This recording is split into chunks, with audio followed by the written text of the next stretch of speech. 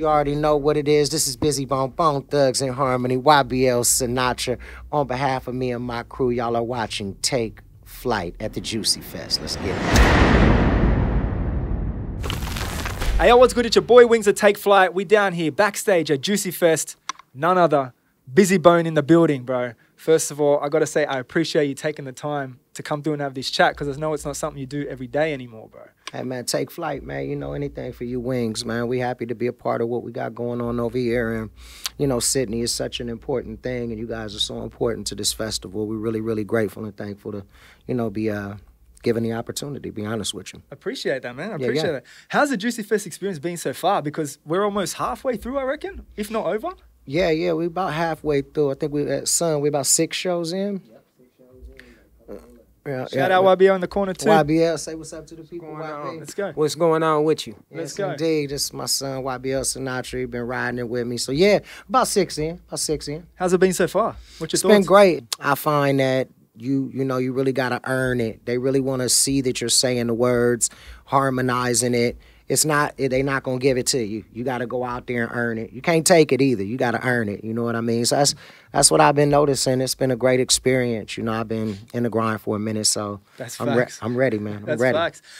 On top of that, more importantly, something I'd love to do with my son is take him worldwide, bro. You've managed to bring your son over here. Not only that, on stage internationally. How's it been that? How's that experience been having him over here with you on this whole tour? Really? Oh, you know, we planned on it for a minute and it's kind of been in our plans and it's just all coming into fruition. You know, it's just amazing that, you know, uh, that it's actually happening and it's actually here. This is like, this is literally five and a half, six years in the making.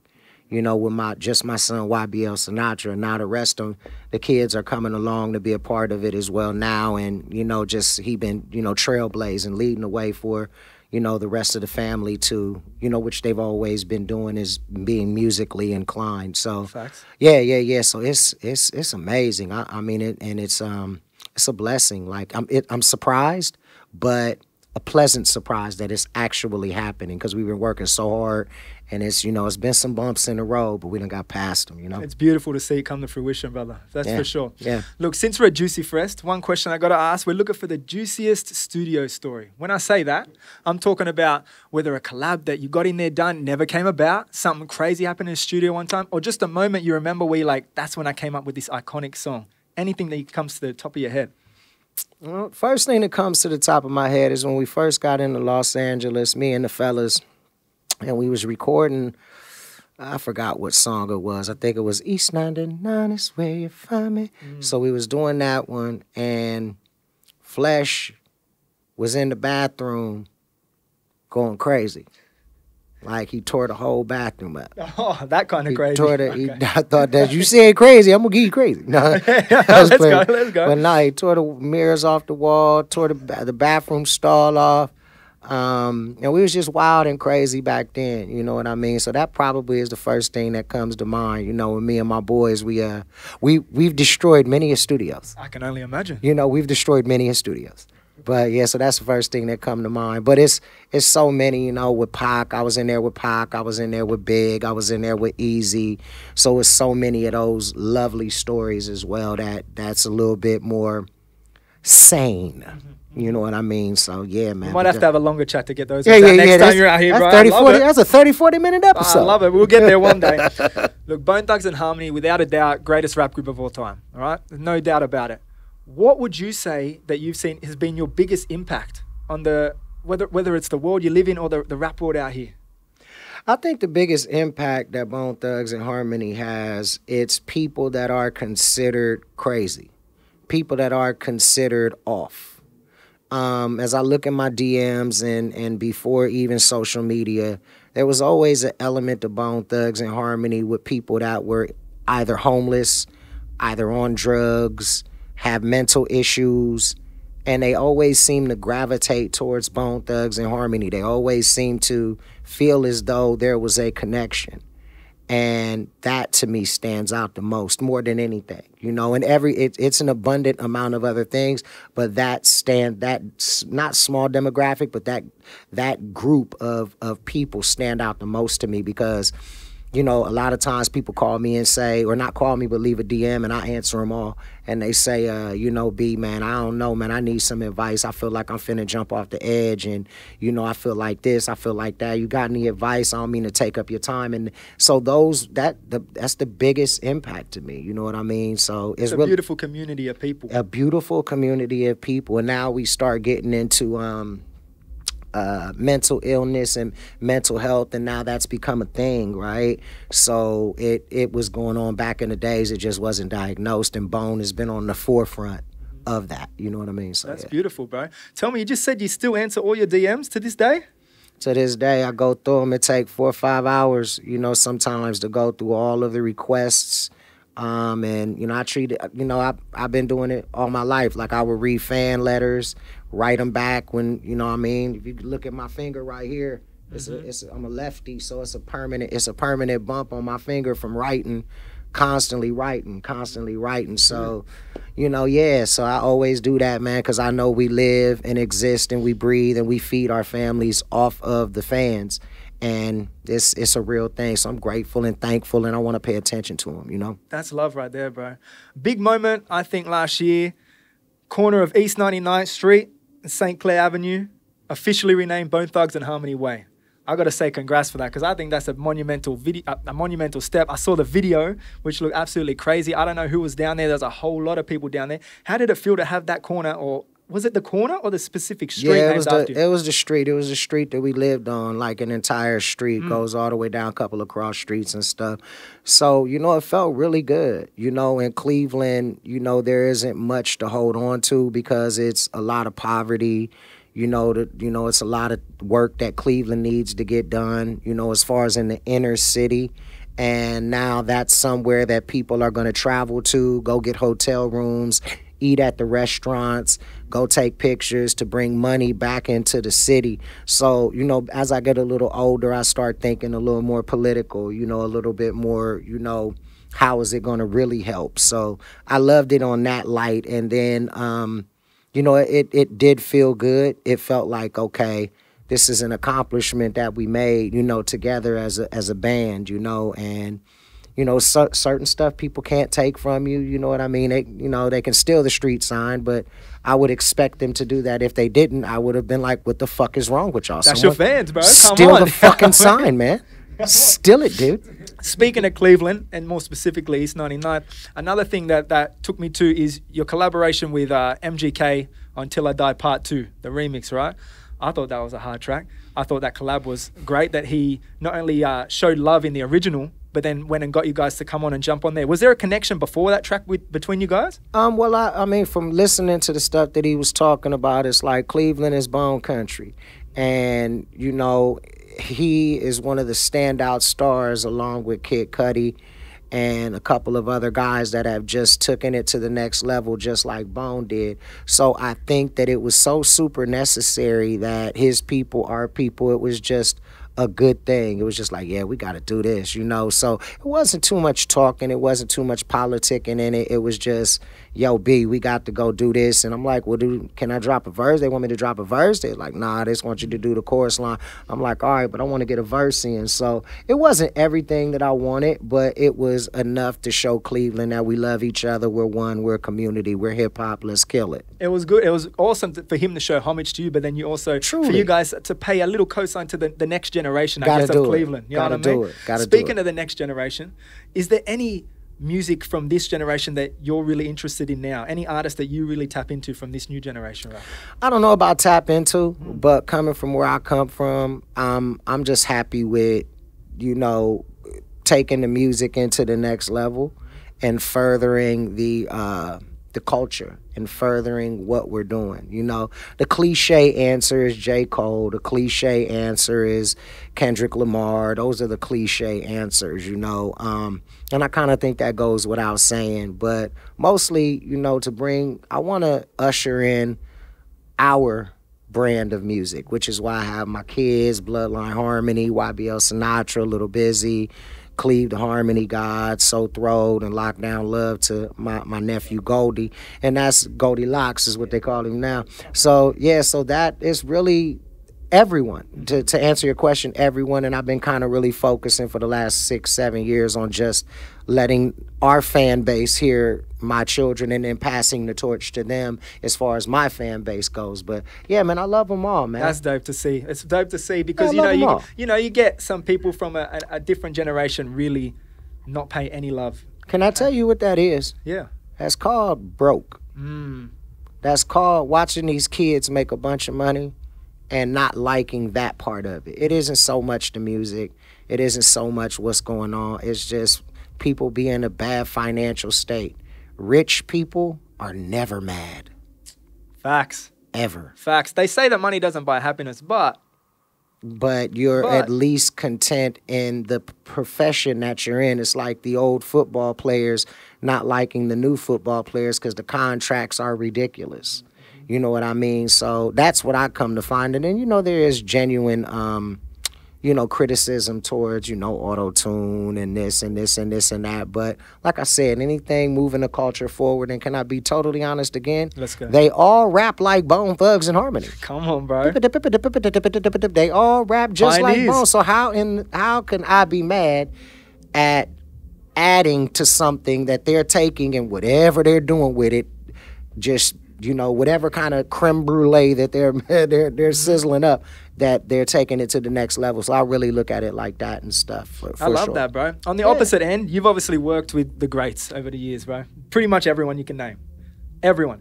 Is there anyone that you really wanted to work with in the past that that time just never came about and now it might be too late? Um, I wanted to do something with Mariah. I wanted to do something with Christina Aguilera. Um, I wanted to do something with M, uh, Eminem, because we up under the same cloth. Um, I wanted to do something with Dre, the way he produced the track. Um, so those are kind of the ones that is, you know, that the boat then probably sailed, you know, on that. But you know, it's always something I always wanted to do. You know, I got a song coming with Lil Wayne, so I can check that off my bucket list. Just did out? something with Nicki Minaj. I'm just waiting on him to return the vocals. Let's go. Um, just did something with Nicki Minaj. Did a remix on Notorious Thugs. I could check that off the, you know, the wish list. So, you know, I'm I'm um a couple of you know hits and misses. You know what I mean? I'm I'm, I'm batting about six seven hundred. Hundred percent, bro. Speaking Eazy, I'd be stupid not to ask about him real quick. What kind of personal impact do you think he had on your life, bro? Um, well, you know, he changed my life. You know, um, I had kids very, very early, and you know, I was able to talk to him and tell him like, you know, and he didn't believe me. I'm like, you know, I got three kids, but I'm like 15, 16 years old. He like, what? I'm like, yeah, like I got kids, and he he cared. You know what I mean? So he understood that aspect of me. You know what I mean? So we had a really close relationship because I was able to talk to him about that kind of stuff. And you know, it's you know, with music, it was be free. If the fellas was acting crazy, wasn't gonna give up on us. You know, it was a lot of man, he ain't gonna rock with us because this one's going to jail, this one's going over here, this one want to do some solo stuff instead of you know just normal kid stuff. Everybody just you know crazy crazy when this type of stuff hit. You know, you don't know what's going on. So yeah, but it just his just standing there like through the through the through the rough. You know what I mean? Like when and and seeing it through Mm-hmm. all the way up until the day he was gone. You know, he seen it through. He made sure that we got to a certain level, and so yeah, that that's the biggest impact. He stuck with us the whole time, despite our crazy asses. That's great, bro. That's right. I love hearing this shit, man. Yes, I do. sir. I love hearing this shit. If I'm right, 21 solo studio albums. Am I right? Yeah, From more yourself? like more like 50, but about 21, 22 officially came out. officially. Yeah, Alright. some un, uh, some unofficial releases, but a course. lot, a lot. Out of all these, has there ever been one that you've thought about that stuck to you and been like, this probably means the most or has become the most important to me? Well, definitely Heaven'z Movie. Yeah, definitely the very, very first one to debut. Like I was on stage tonight. I'm still doing that. That was in 1998, and the reaction was just as big as Crossroads or any of the other hits that I have along with my band. You know, so definitely Heaven'z Movie just totally stood out. Um, through the test of time, and then now the new music. Now that I'm independent, Australia and New Zealand is my biggest market. You know, when you look at the analytics and things of that nature. So when I'm doing the new stuff, like I just did the bag with my, my son, like they like, yeah, we know this one. So it it um So the that that Heaven'z Movie, and then a lot of the newer stuff that I'm doing, because they like see I got a purpose behind what I'm doing now. They like, okay, he's not just rapping just to be rapping. This is he's doing something. He's passing the torch to his kids. He's he's doing something. You know what I mean? So yeah, that that that mostly. So yeah. Awesome, bro. Look, at the start of this tour, Juicy Fest got announced. All of the members were supposed to be coming. Right. The word was out there. Right. At what point?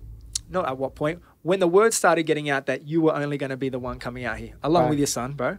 Right. How did it feel to know you were going to be the one carrying the torch for all those Bone Thug fans that are obviously out there? They wanted to come see the group, but you still turned up and got shit done. I'm really cool with the owner. Big shout out to the owner. You know what I mean? We call him Batman. Don't nobody know him. He, he's he's in the Bat Cave somewhere doing his thing.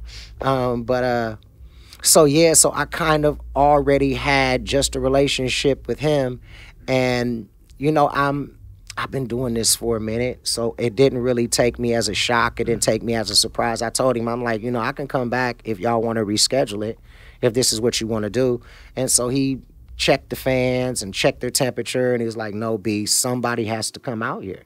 You know, we don't care if it's wishbone, we don't care if it's flesh, we don't care if it's lay, we don't care if it's cray. Somebody has to come out here and represent. They want a piece of you guys because this is bone country, man. Mm-hmm. Australia, New Zealand, a lot of lives have been changed out here. A lot of a lot of it, the stories that I have heard about how many lives were changed out here through Bone Thugs-N-Harmony music is completely and totally endless, endless amount. So um, it the transition was really really simple. It was really easy, and by you know my son and I YBL Sinatra doing this for six seven years to uh, to to uh, to do it was not a thing. Ain't a thing, bro. Ain't, it wa- Ain't it thing. wasn't a thing, you know, and they embraced us, man. They was like, "We love you, B. Hold it down for the crew." What was it like? I feel like you really enjoyed New Zealand. I saw some posts on Instagram. Obviously, I wasn't there. What would you say is standout moments from when you were over there, bro? It was the stories. Mm. It was the people coming through, like telling us the impact. It was personal for them. It was very, very personal. They took it personal.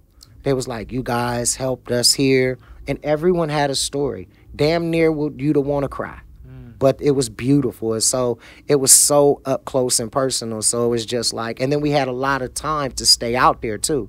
Here in Australia, it's like boom, we go here, boom, we fly here, boom, we fly here, boom, we fly here. We really don't have any time to chill. You know what I mean? So. So yeah, but yeah, they just got close. They got really, really close. Okay, that's really close. bro. Look, to finish up, I got four quick questions for you. You don't have to expand on them, all right? Cool, Let's cool, go. cool, cool, cool. Your favorite song of your own? My favorite song of my own. Uh, it's a tie between Thugz Cry and Nobody Can Stop Me. Come on. Yeah, nice. Yeah. Best country to visit, but for food. Best country to visit about the food.